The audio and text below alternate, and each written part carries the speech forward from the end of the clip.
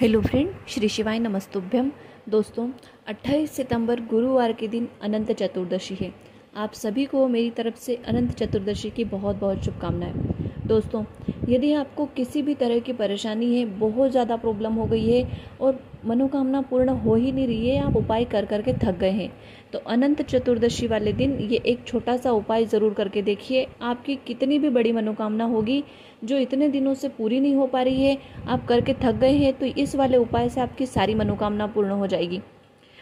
मनोकामना चाहे शादी से रिलेटेड हो, एग्ज़ाम से रिलेटेड हो, आपको भगवान से कुछ भी चाहिए हो, जैसे कि घर घर में व्यापार, धंधे से रिलेटेड लक्ष्मी माता से रिलेटेड जो कुछ भी प्रॉब्लम होगी, आपकी ज़रूर सॉल्व होगी। एक बार ये उपाय ज़रूर करके सुनिए ध्यान से सुनिए इस उपाय को। सबसे पहले आपको लेना है एक लोटा जल भर लेना है। आपको लेना है दो चावल के दाने। चावल के दाने बिल्कुल साबुत होने चाहिए, खड़े होने चाहिए, कटे फटे टूटे नहीं होना चाहिए। ठीक है, हमने ले लिए दो चावल के दाने साबुत। उसके बाद आपको लेनी है केसर। हम सभी जानते हैं कि केसर मार्केट में आसानी से मिल जाती है। हाँ आपको ऐसा लगता है कि आपको ओरिजिनल केसर नहीं मिल पा रही है तो ज़रूरी नहीं है कि आप कश्मीर वाली ओरिजिनल ही लेके आएँ। मार्केट में पूजा पाठ की दुकान पर पंद्रह से बीस रुपए की डिब्बे मिलती है, आप वो भी ले सकते हैं।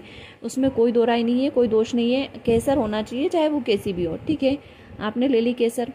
अब ध्यान से सुनिए, करना कैसे है? केसर को आपको पानी में भिगो देना है।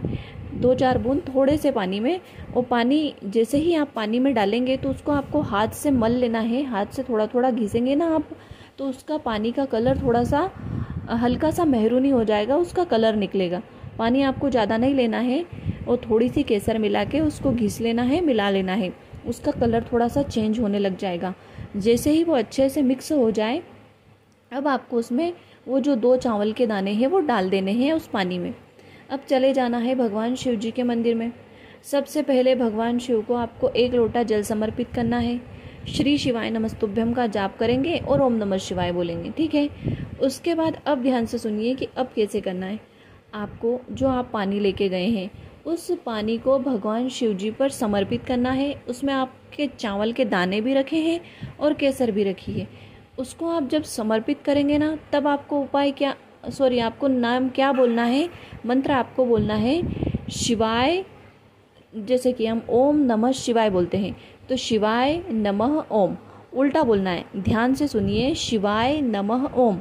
ऐसा बोलना है, जब आप भगवान शिव जी को केसर और चावल वाला पानी जल चढ़ाएँगे ना, जब आपको उल्टा मंत्र बोलना है, शिवाय नमः ओम ये वाला मंत्र अनंत चतुर्दशी के दिन उल्टा बोलने वाले का और ये जल चढ़ाने वाले की सारी मनोकामनाएँ पूर्ण हो जाएगी, कष्ट सारे दूर हो जाएँगे। कितनी भी बड़ी मनोकामनाएँ ज़रूर पूर्ण होगी, आप एक बार ये उपाय ज़रूर करके देखिए।